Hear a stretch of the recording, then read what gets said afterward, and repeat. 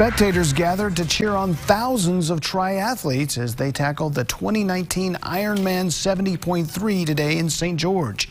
ABC4's Katie Corrales was there and spoke with some of the pro athletes and the spectators at the event.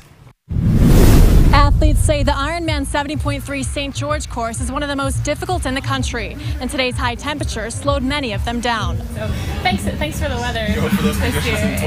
With temperatures reaching the mid 80s today, top athletes from 35 countries are competing in the Ironman 70.3 North American Pro Championship. It's a really honest course. Uh, hard bike, hard to run. It's the 10th consecutive year St. George has hosted the Elite Triathlon. It's just exciting and it's motivating and it makes you want to go out and be the, a runner next year.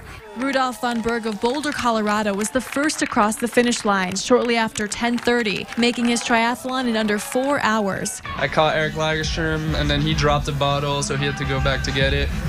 And then right away from there, I pushed the pace. Holly Lawrence from Great Britain became the first female athlete to complete the race, setting a new course record. So I did swing it by my coach last night and say, Can I go for the course record? And he was like, No, you're going to Vietnam, just play it safe.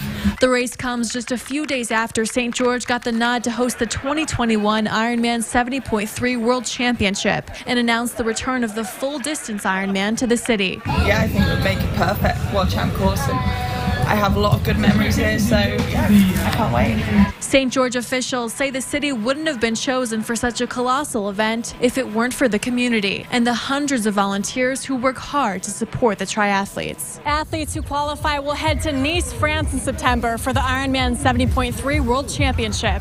Reporting in St. George, Katie Corrales, ABC4 News. This year's Iron